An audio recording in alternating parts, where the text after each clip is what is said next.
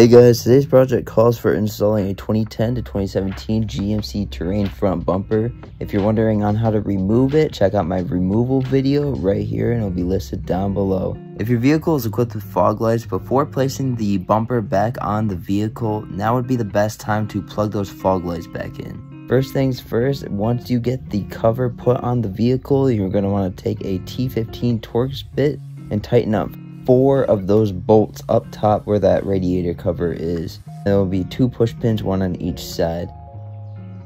Next, make your way around to one of the sides of the vehicle. Pop in the side of the bumper into that bumper bracket. Sometimes this can be a little bit challenging, so take your time with it, go slow. Eventually, it'll make its way in there.